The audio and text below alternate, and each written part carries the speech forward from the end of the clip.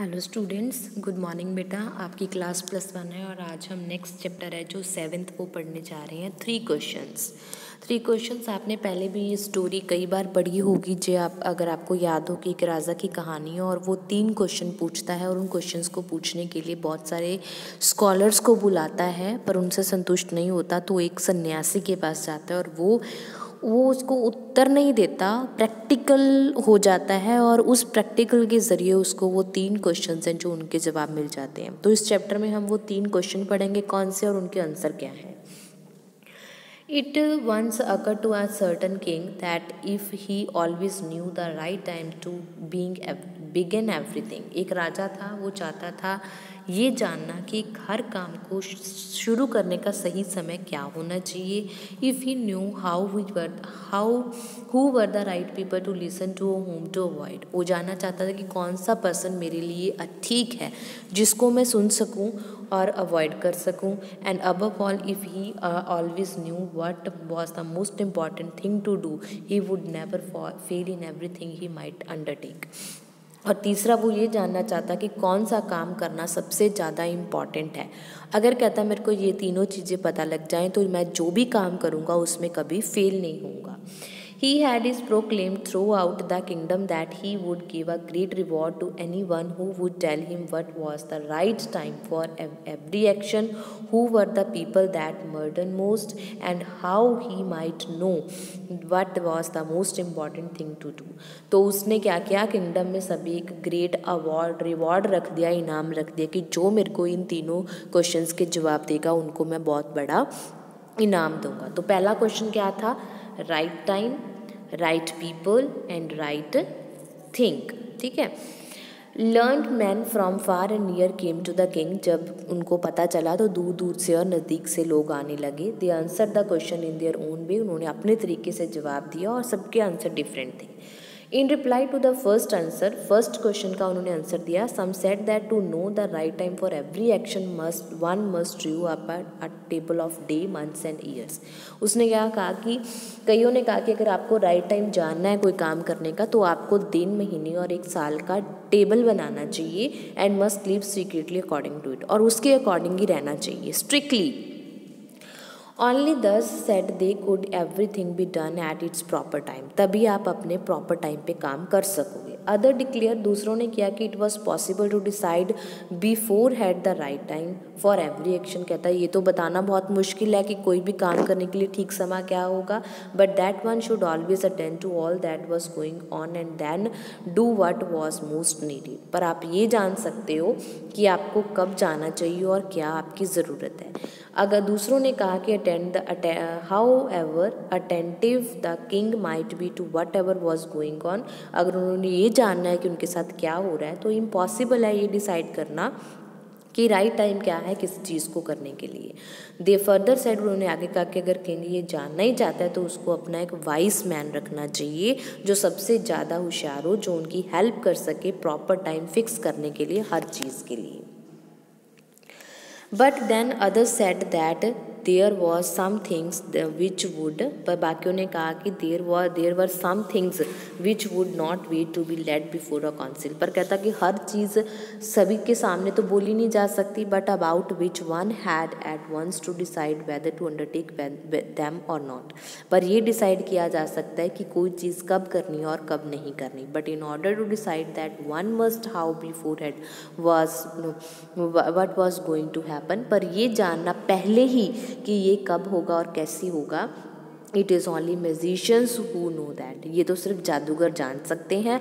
So in order to know the right time for every action अगर आपको सही time जानना है हर एक्शन को करने के लिए तो आपके पास एक मैजिशियन होना चाहिए। Equally different were the answers to the second question इस तरह से सेकेंड क्वेश्चन का आंसर दिया गया। सम कुछ ने कहा कि, कुछ लोगों ने कहा कि king the king most needed were he is adviser उसका सबसे ज़रूरी चीज़ क्या होनी चाहिए? एडवाइज़र होना चाहिए। कुछ प्रीस्ट होने चाहिए, पादरी, कुछ अदर होने चाहिए डॉक्टर होने चाहिए, है ना? वेरियस योद्धा होने चाहिए ज़रूरी। तो इस तरह से थर्ड क्वेश्चन का आंसर उन्होंने दिया कि मोस्ट इंपॉर्टेंट थिंग इस वर्ड में जो है साइलेंस है। चुप्पी है। अदर सेट दैट कईयों ने कहा कि वॉर में जो स्किल वेलफेयर स्किल्स हैं वो होने चाहिए और कुछ ने कहा कि रिलीजियस वर्कशॉप वर्कशॉप वर्शिप मतलब धार्मिक पूजा पाठ सबसे इंपॉर्टेंट चीज़ है। All the answers were different the king were not satisfy with any one of them king उन बातों से सेटिस्फाई नहीं हुआ। उसने रिवॉर्ड किसी भी आदमी को नहीं दिया। But still wishing to find the right answer to his question पर उसको अभी भी उन क्वेश्चन के आंसर जानने थे। He decided to consult a hermit hermit मतलब एक सन्यासी के साथ उसने बात की। Who was very famous for his wisdom वो अपनी सयानब के लिए बहुत जाना माना था। The hermit lived in a wood which he never left वो एक जंगल में रहता था और कभी उससे बाहर नहीं आता था। He received none but common folk वो किसी को, बड़े आदमी को नहीं मिलता था। आम आदमियों को मिलता था। So the king put on simple cloth and get out of gate and set out for the wood in which the hermit lived और इसलिए सिंपल कपड़े पहन लेता है किंग और उस सन्यासी को मिलने चला जाता है जंगल में। Before reaching the hermit sir the king caught off his horse सन्यासी के पास पहुँचने से पहले वो अपने घोड़े से उतर जाता है leaving his bodyguard behind the king went on along और अपने बॉडी गार्ड को पीछे छोड़ के सबको वो अकेला उसकी तरफ़ जाता है। When the king approach the helmet set जब वो उस सन्यासी के घर पे जाता है the hermit was digging the ground in front of it और वो क्या कर रहा होता है? एक ज़मीन में गड्ढा खोद रहा होता है। सीइंग द किंग किंग को देख के ही greeted him and went on digging और उसको नमस्ते कह के वो फिर से काम पे लग जाता है। हर्मिट वॉज़ बहुत लीन थिन एंड वीक बहुत ही पतला, दुबला और कमज़ोर होता है। ईच टाइम जब भी वो he stuck his spade into the ground and turn a little earth he breathed heavily और जब भी वो गड्ढा खोद, खोदने के लिए वार करता है और मिट्टी थोड़ी सी निकालता है, तभी वो ज़ोर ज़ोर से सांस लेने लग जाता है। मतलब इतना कमज़ोर है कि वो गड्ढा नहीं खोद पा रहा। The king went to him and said वो किंग उसके पास आता और बोलता I have come to you to ask the question answers of three question मैं आपके पास तीन क्वेश्चंस के आंसर लेने आया हूँ. How can I learn to do the right thing at the right time मैं ये कैसे जान सकता हूँ कि मैं सही काम सही टाइम पे करूँ? Who are the peoples I need most किन लोगों की ज़रूरत मेरे को सबसे ज़्यादा है? और to whom should I pay more attention than the rest और किन लोगों पर मुझे ज़्यादा ध्यान देना चाहिए? What affair are the most important thing and and need um my first attention और कौन सी चीज़ है जो मेरे लिए सबसे ज़्यादा इंपॉर्टेंट है? The hermit listen to the king but give no answer उसने क्वेश्चन तो सुन लिए पर कोई आंसर नहीं दिया। वो अपना काम करता रहा गड्ढा खोदने का। यू आर टायर्ड किंग कहता है कि तुम थक गए हो let me take the spade and work for me कहता, मैं ये काम कर देता हूँ। वो थैंक यू कहता है और giving the spade to the king और वो जो कही होते जिससे वो गड्ढा खोद रहा होता है, वो किंग को पकड़ा देता है। He sat down the ground और आ खुद ग्राउंड पे बैठ जाता है। When the king had dug two beds he stopped and repeated his question जब किंग दो गड्ढे खो देता है तो वो क्वेश्चन दोबारा पूछता है किंग हरमिट कोई आंसर नहीं देता।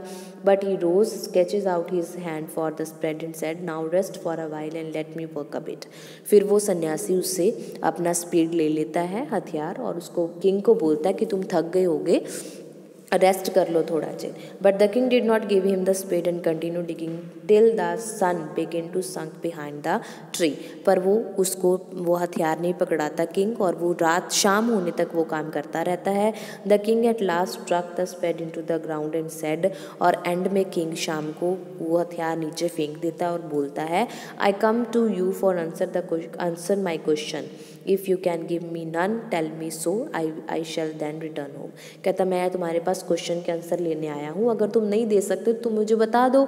मैं घर वापस चला जाता हूँ। Here come some someone running सन्यासी कहता है कि, या कोई दौड़ा आ रहा है? Let us see who is हम देखते हैं वो कौन है।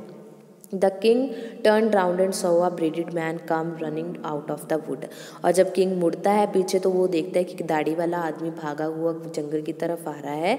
The man held his hand pressed against his stomach and blood was flowing from under them और उस आदमी ने अपने पेट पे हाथ रखा हुआ है, दबा के और उसके पेट में से खून बह रहा है। When he came near the king he fell fainting on the ground crying with pain और जब वो किंग के पास आता है तो वो बेहोश होकर नीचे गिर जाता है और दर्द में चिल्ला रहा है। The king and the hermit unfastened the man's clothing वो दोनों किंग और सन्यासी जो होते हैं उस आदमी को उठाते हैं। There was large wound in his stomach उसके कपड़े उतारते हैं तो उसके पेट पे बहुत बड़ा जख्म होता है। The king wash it at best he do king उसका जख्म साफ़ करता है। He then bandage it with his handkerchief अपने रुमाल से उसकी पट्टी बांधता है। एंड विद द टावल था हरमिट हेड और जो टावल के टावल था हरमिट के पास, सन्यासी के पास, वो बांधता है। But the blood would not stop flowing पर बट ब्लड अभी भी रुक नहीं रहा था। King again and again remove the bandage soaked with warm fresh blood washed and bandage the wound again king उसका बार बार पट्टी हटाता है, उसका खून साफ़ करता है और दोबारा से पट्टी बांधता है। When at at the last the bleeding stop जब एंड में ब्लीडिंग रुक जाती है तो वो आदमी कुछ पीने के लिए माँगता है। किंग उसको फ्रेश वाटर है जो वो ले लिया के देता है। तो इस तरह से बेटा ये चैप्टर है जो वहाँ यहाँ पे ख़त्म हो जाता है कि वो किंग अब किंग यहाँ पे आया तो उसने उसको पानी ला के दिया, ठीक है? अब किंग अगर वहाँ से ना जाता, है ना तो क्या होता? उसको वो आदमी मार देता, वो आदमी उसको मारने के लिए आया था। उस, वो आदमी उसको मारने के लिए आया था, ये चैप्टर आपका कंप्लीट नहीं है बेटा। तो ये आदमी उस, उसको मारने के लिए आया था तो वो कहता है कि मुझे माफ़ कर दो, मैं आपको मारने आया था, क्योंकि आपने मेरे भाई को मार दिया था और उस, उसकी प्रॉपर्टी ले ली थी। तो मैं आज आपको मारने आया था, पर आपने तो मुझे बचाया है। तो मैं आज मैं आप, मैं आपका ऋणी रहूँगा, आपका दास बन के रहूँगा और अपने बच्चों को भी बोलूँगा कि वो भी आपकी सेवा करें। तो इस तरह से उसको तीन क्वेश्चंस के आंसर मिल जाते हैं। पहला, उसको सन्यासी बताता है। कि पहला क्वेश्चन का आंसर है कि राइट टाइम राइट टाइम और राइट टाइम सब काम करने को क्या था? तुम यहाँ पे डग खोद रहे थे। अगर ना खोदते तो वो तुम्हें मार देता। ये राइट टाइम था। तुमने उसकी सेवा की, ठीक है? वो तुम्हारा सही पर्सन था, जिसकी तुमने सेवा की। और तुम्हारा जो सबसे ज़्यादा इंपॉर्टेंट काम क्या है? लोगों की सेवा करना। तो तुम लोगों की सेवा करो, तुम्हें तुम्हारे तीन आंसर के क्वेश्चन के आंसर हैं जो वो मिल गए हैं। ठीक है? हाँ जी तो इसका लॉन्ग क्वेश्चन है कि थ्री क्वेश्चंस की स्टोरी लिखनी है। किंग है, वो क्वेश्चन जानना चाहता है। तीन क्वेश्चंस आपने याद करने हैं right time right people and right thing ठीक है? तो नो पर्सन कोई भी उसको सेटिस्फैक्ट्री आंसर नहीं देता। तो किंग है जो वो सन्यासी के पास जाना जाना पर जाने का डिसीज़न लेता है। वहाँ पे उसको वो कॉमन लोगों को मिलता है, इसलिए किंग सिंपल क्लोथ पहन के चला जाता है बाई फुट जाता है और अपने बॉडी को पीछे छोड़ जाता है।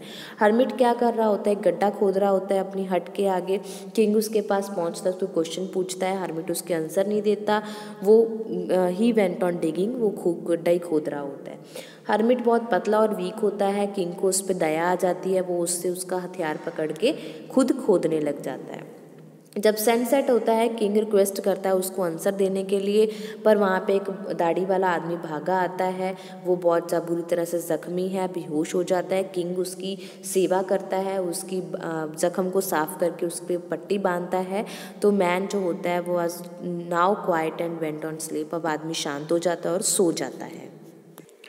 The hermit was very wise बहुत अच्छा होता है करेक्ट आंसर देता है बट ही पर वो किंग की वेट करवाता है। He wanted to give his answer with suitable वो सही समय पर उसके आंसर देना चाहता है। वो देखता है कि अब जो सही टाइम है, वो आ गया है तो वो आंसर देता है। नॉट अ लैनी स्टोरी को स्टोरी नहीं सुनाता, उसको वो आंसर देता है कि now is the most important time जब आपने सेवा की तो बहुत इंपॉर्टेंट टाइम था। मोस्ट इंपॉर्टेंट मैन जिसकी आपने सेवा की, वो इंपॉर्टेंट आदमी है आपके लिए। और जो इंपॉर्टेंट थिंग आपने दूसरों के लिए की वो उसकी सेवा की वो इंपॉर्टेंट है।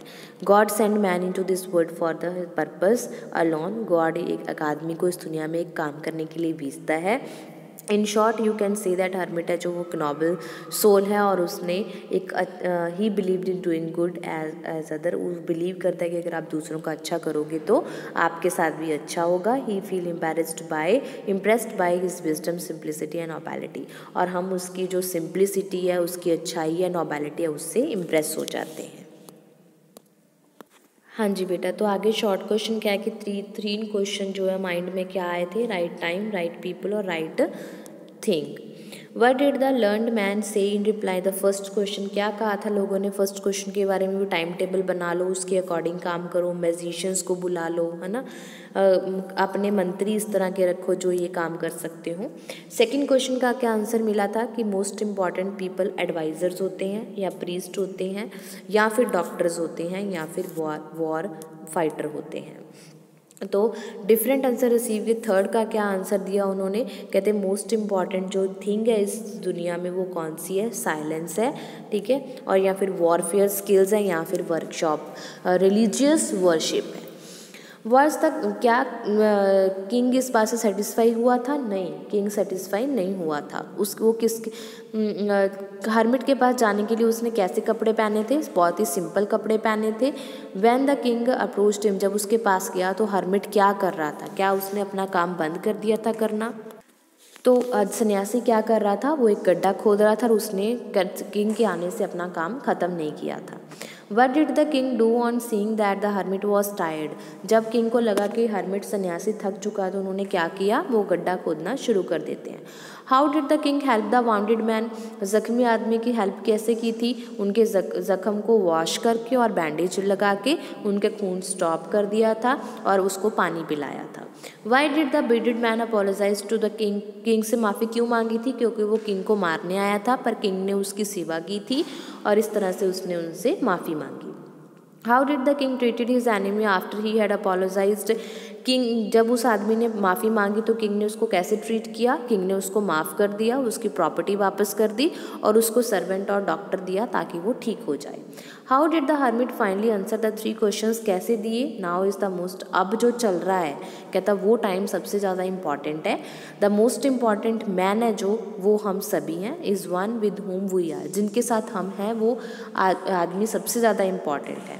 To do thing is the most important work to do good अच्छा काम करो, ये सबसे ज़्यादा इंपॉर्टेंट काम है। ठीक है, इस तरह से उसने ये तीन क्वेश्चंस के आंसर उसने दिए। इस तरह से आपका चैप्टर ख़त्म होता है बेटा उम्मीद है आपको समझ में आ गया होगा। फिर भी कोई प्रॉब्लम लगती है तो आप मेरे को कमेंट बॉक्स में कमेंट करके पूछ सकते हो। ओके बेटा? Okay have a nice day